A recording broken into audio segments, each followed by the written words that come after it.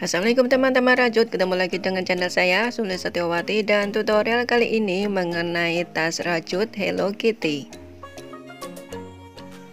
Cara pembuatan motif ranting ini Udah saya upload videonya ya teman-teman. Dan saya cantumkan linknya pada bagian deskripsi.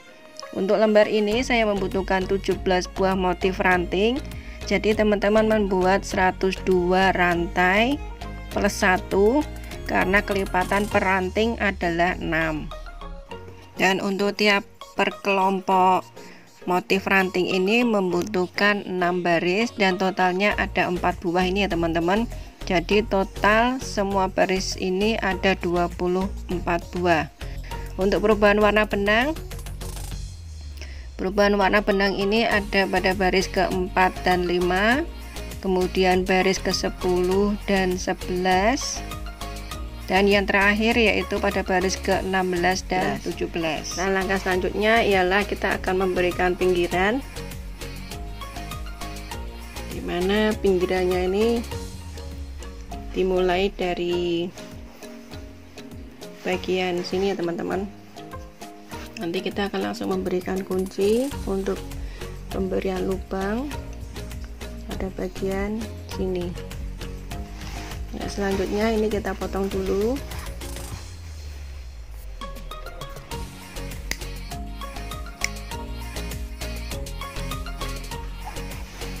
Ya kita akan memberi bagian lubang kunci.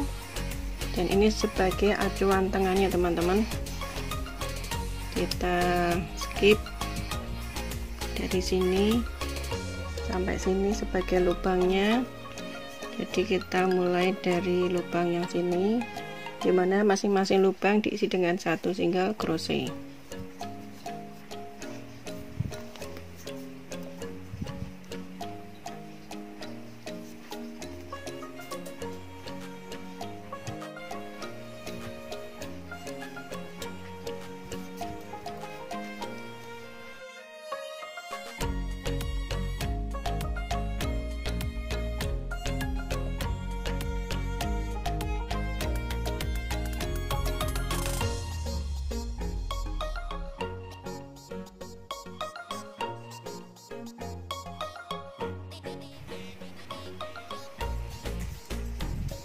untuk bagian ujungnya kita beri tiga single crochet. Satu dua dan tiga. Untuk masing-masing lubang isi dengan satu single crochet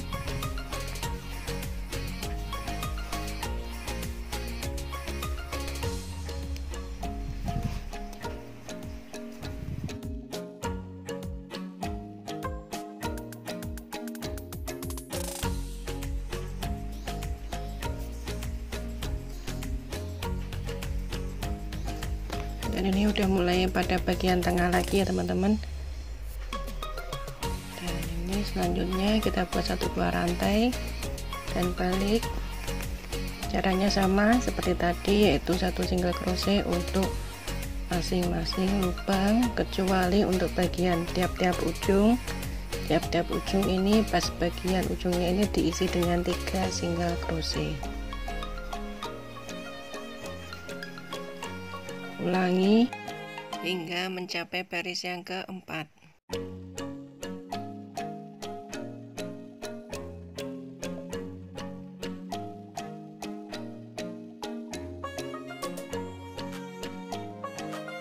Pada bagian ujung isi dengan tiga single crochet satu dua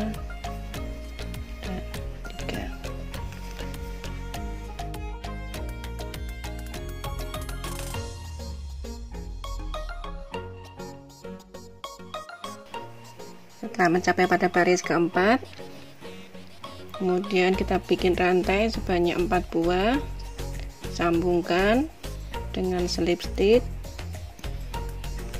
Buat satu buah rantai dan balik.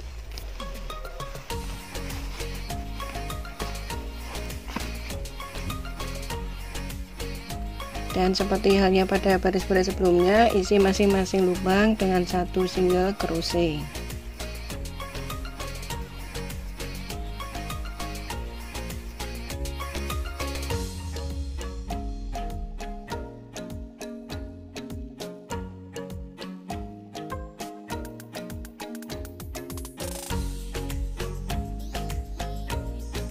lagi dengan titik awal.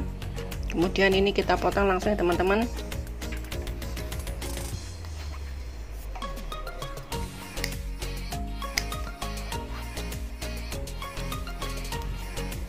Dan rapikan.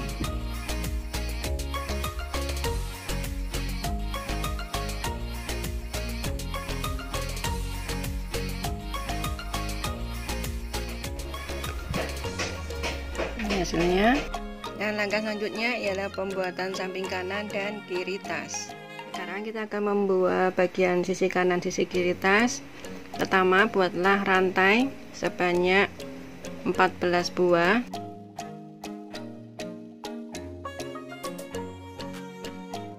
Setelah 14 rantai udah jadi pada baris yang pertama isilah punggung rantai yang kedua dengan satu single crochet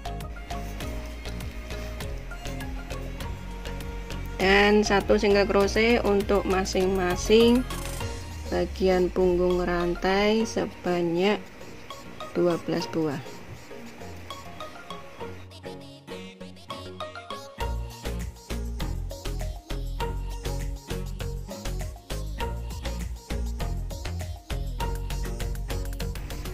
Baris pertama udah jadi kemudian baris yang kedua bikinlah satu buah rantai dan balik isilah masing-masing lubang ini dengan satu single crochet hingga mencapai pada baris yang ke-28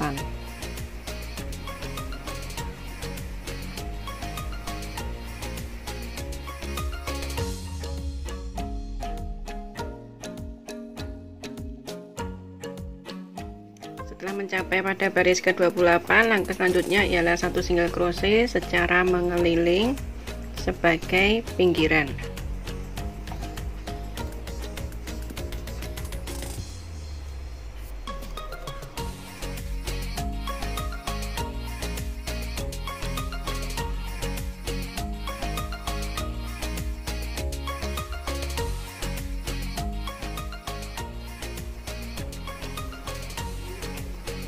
kemudian potong.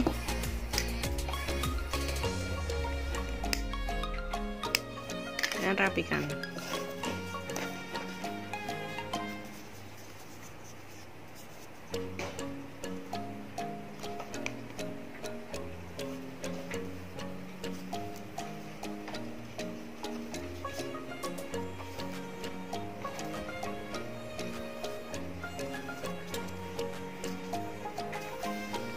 inilah hasilnya untuk bagian sisi tas. Dan bikinlah sebanyak dua buah teman-teman seperti ini. Dan langkah selanjutnya ialah pemberian inner yaitu busa ati dan kainnya. Untuk pemberian inner kita membutuhkan busa ati kemudian kain pelapisnya. Untuk kain pelapisnya ini saya menggunakan kain peludru pertama kita beri lem pada kedua sisi ini yaitu sisi busa ati dan bagian rajutan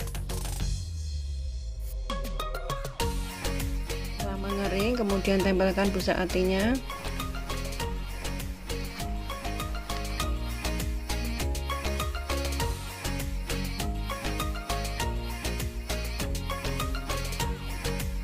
setelah tertempel kemudian kita akan memasang bagian ring handle yang bentuknya seperti ini. Tinggal kita tusukkan kaki-kakinya pada bagian sisi kanan sisi kiri ini kemudian pasangkan dengan pasangannya. Pastikan kencang pada waktu menekuk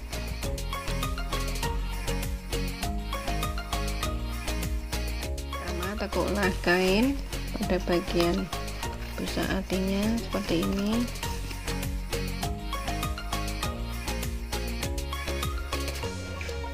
Kemudian jahit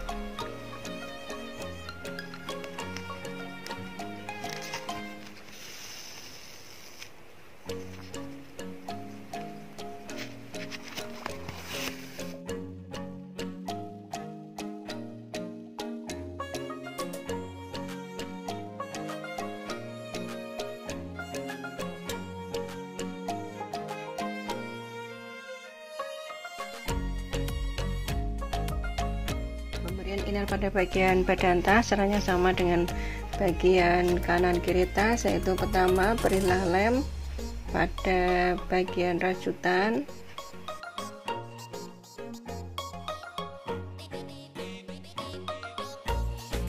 Begitu juga untuk bagian busa atinya berilah lem.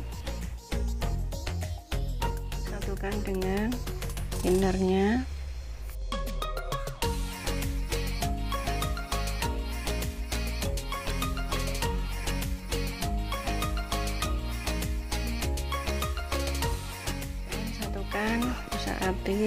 dilapisi tadi pada bagian rajutan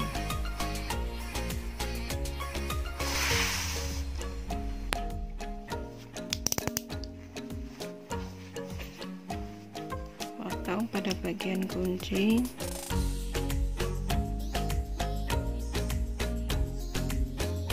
Pemasangan kunci kita beri lem tembak dulu pada bagian kuncinya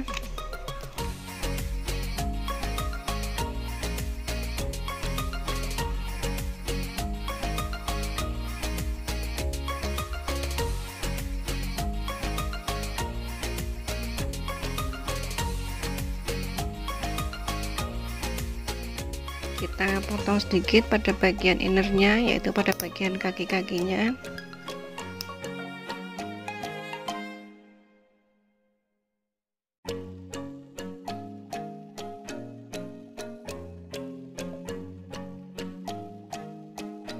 Kemudian kencangkan dengan menggunakan tang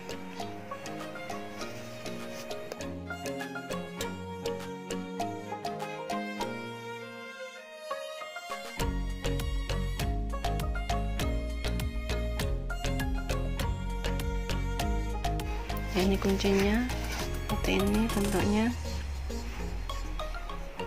Dan langkah selanjutnya ialah kita akan memasang bagian samping tas. Dan kita sambung dengan menggunakan satu single crochet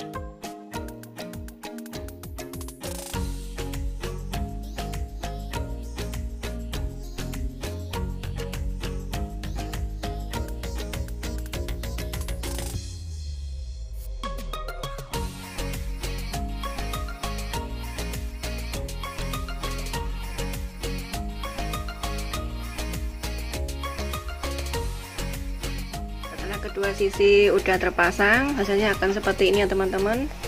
Dan langkah selanjutnya ialah pemasangan pasangan kunci. Ini tinggal kita masukkan aja pasangan kuncinya. Masukkan. Kemudian tinggal kita paskan dulu ini samping kanan kirinya. Ini tinggal kita lepaskan dan kita masukkan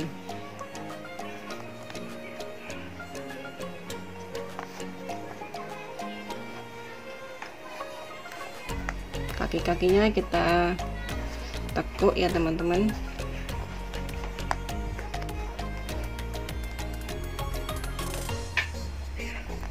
Dan jangan lupa pastikan pasangan kunci ini ada di posisi yang tengah.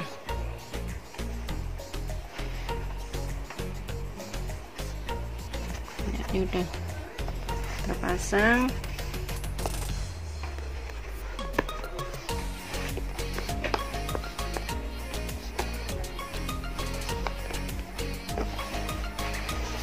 membuat handlenya kita bikin simpul dulu seperti ini. Kemudian kita masukkan benangnya lalu tarik. Langkah selanjutnya masukkan hakpen kemudian tarik. Buatlah rantai sebanyak 4 1 2 2 3 4 buatlah half double crochet pada lubang yang terakhir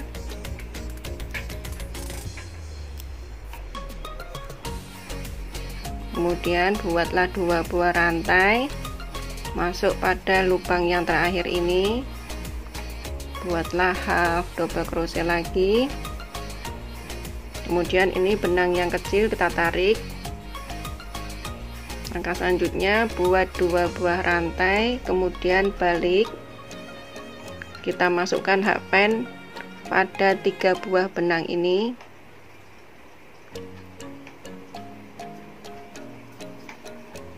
caranya sama seperti tadi dua buah rantai balik masukkan hakpen pada benang yang tiga ini. Ini ya tiga. Ya kita ulangi lagi cara tadi ya teman-teman. Dua buah rantai balik masukkan hakpen pada tiga buah benang ini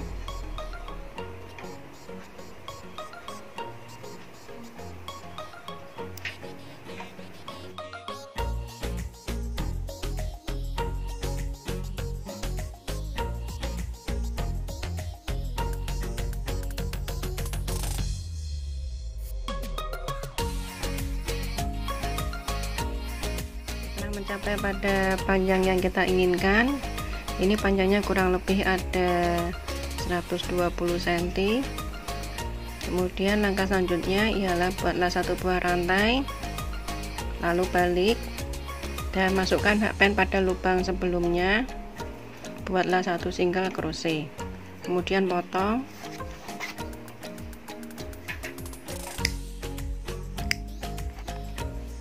Dan tarik ya hasilnya akan seperti ini. Dia akan kembali pada posisi tengah seperti halnya pada simbol yang pertama tadi. Kemudian masukkan pada kait kait handle seperti ini bentuknya. Tinggal kita masukkan.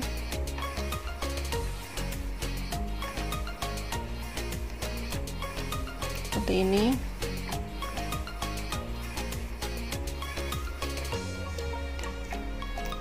Kemudian jahit seperti ini masukkan hakpennya pada bagian tengah dari tali handle ini. Kemudian masukkan tali sisanya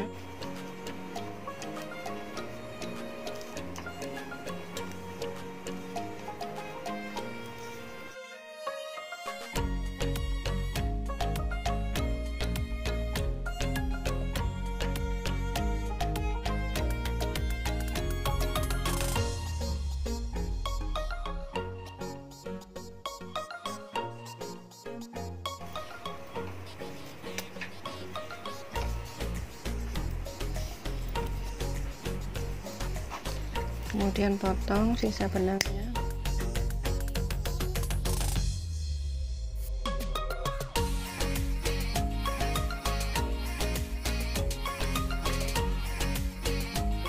Demikian pada kait yang perlawanan kita tinggal kaitkan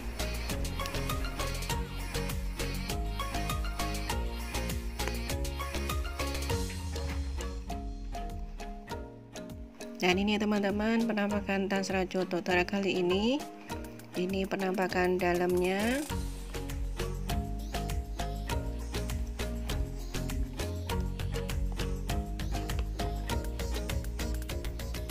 Kunci putar.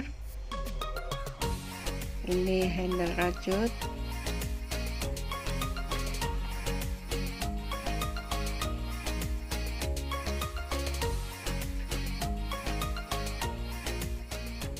demikian tutorial dari saya. Semoga menginspirasi dan bermanfaat untuk teman-teman ratu semua. Selamat berkreasi dan wassalamualaikum